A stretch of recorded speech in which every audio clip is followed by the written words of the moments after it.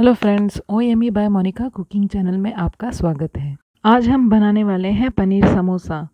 हम deep fry नहीं करेंगे, हम इसको बेक करने वाले हैं।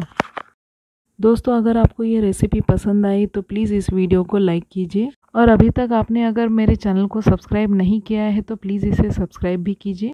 तो चलिए रेसिपी स्टार्ट कर देते हैं। सबसे पहले हम पैन लेंगे, उसमें तेल डालेंगे गर्म करने के लिए।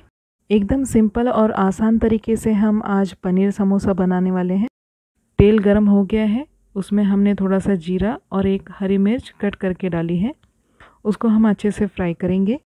अभी तेल में हम शिमला मिर्च, टमाटर और प्याज बारीक कट किए हुए डालेंगे। उनको अच्छे से कुक होने देना है।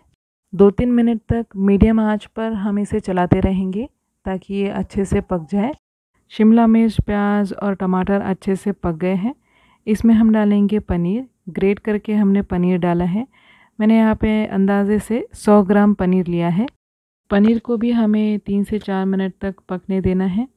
उसको अच्छे से मिक्स कर लेते हैं पहले। पनीर कुक होने से पहले हम इसमें टेस्ट मेकर मसाले डाल देंगे ताकि ये अच्छे से इसमें मिक्स हो जाए। पहले नमक डाल देते हैं स्वादानुसार।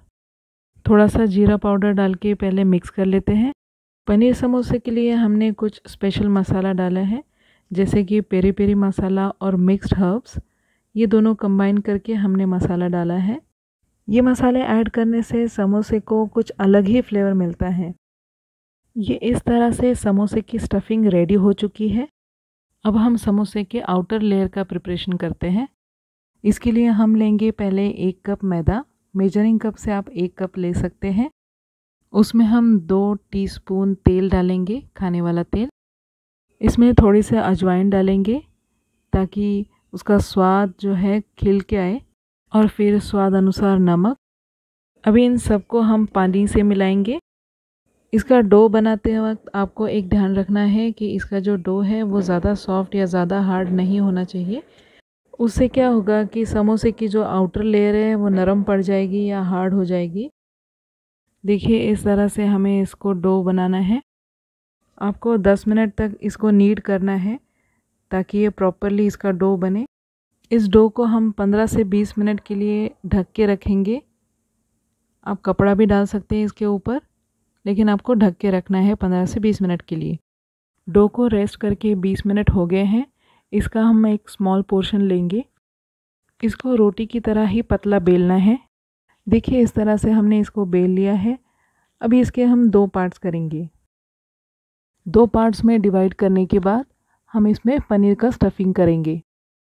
पनीर का फिलिंग करते वक्त आप ज़्यादा फिलिंग मत कीजिएगा, ताकि जब समोसे बेक होंगे तो वो कहीं से फट ना जाए। अभी ये सारे एजेस को, सारे किनारों को हमें लॉक करना है। आप पानी का हाथ लगाकर या दूध का हाथ लगाकर इन किनारों को लॉक कर सकते हैं। इन किनारों को आपको अच्छे से लॉक करना पड़ेगा। क्योंकि बेक होते वक्त ये किनारे खुल जाते हैं। तो अगर आप अच्छे से प्रेस करके लॉक करेंगे, ये तो खुलेंगे नहीं। इसी तरह से हम बाकी के समोसे भी रेडी कर लेंगे। ये सारे समोसे बेक होने के लिए तैयार है, लेकिन इसके पहले हम ऑयल लगाएँगे ऊपर से। मतलब ब्रश से हम ऑयल लगाएँगे। ज़्यादा नहीं लगाना है, सिर्फ़ हमें उन उन पर हल्का सा ब्रश से लगाना है तेल। इन समोसों को अब बेकिंग प्लेट पे रख देंगे। इन समोसों को बेक करने से पहले जिसमें भी हम बेक करेंगे, उसे थोड़ा सा प्रीहीट करना पड़ेगा तीन से पाँच मिनट के लिए। कढ़ाई प्रीहीट हो गई है। इसमें हम बेकिंग प्लेट रख देंगे समोसे बेक करने के लिए। कम से कम 25 से 30 मिनट लगेंगे। 15 मिनट के बाद हमें समोसे के साइड को पलटना पड़ेगा ताकि वो दोनों तरफ़ से अच्छे से बेक हो जाए। ये देखिए, कढ़ाई में भी पनीर के समोसे कितने अच्छे तरीके से बेक हो गए हैं। सिर्फ़ एक बात का ध्यान आपको रखना है कि 15 मिनट के बाद समोसे की साइड को पलटना है ताकि दोनों तरफ़ से वो अच्छे से बेक हो जाए। इन समोसों को आप वैसे भी खा सकते हैं या फिर इमली चटनी, ग्रीन चटनी या केचप के साथ एंजॉय कर सकते हैं। आपको ये रेसिपी पसंद आई तो प्लीज़ इस वीडियो को लाइक कीजिएगा।